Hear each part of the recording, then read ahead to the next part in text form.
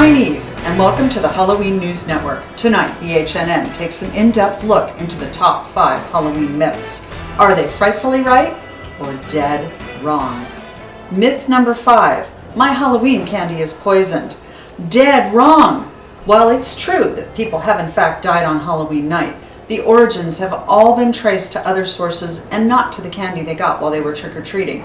So, we say, enjoy the evening and bon appetit!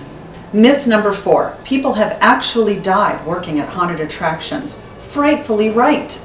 Hard to believe, but there have been at least two reported deaths of hanging stunts gone eternally wrong. To those poor souls, we say, no noose is good news.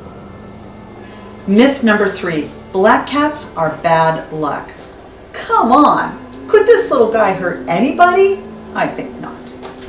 Myth number two, my Halloween candy has pins, needles, and razor blades. Frightfully right, but it happens very rarely, and most often it's just somebody playing a prank on their friends or their family. So the moral of this myth is no trick-or-treating from people you know. Myth number one, vampires are real. Dead wrong. In fact, a physicist from the University of Central Florida proved it using simple math. Check this out. On January 1st, 1600, the human population was 536,870,911.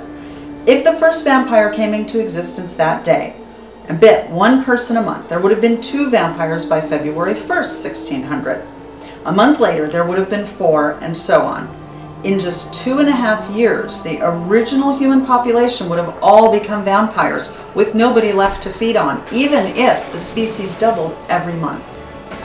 So there you have it. That's all for this edition of the Halloween News Network. Have a ghoulishly good night and we'll scream you next time.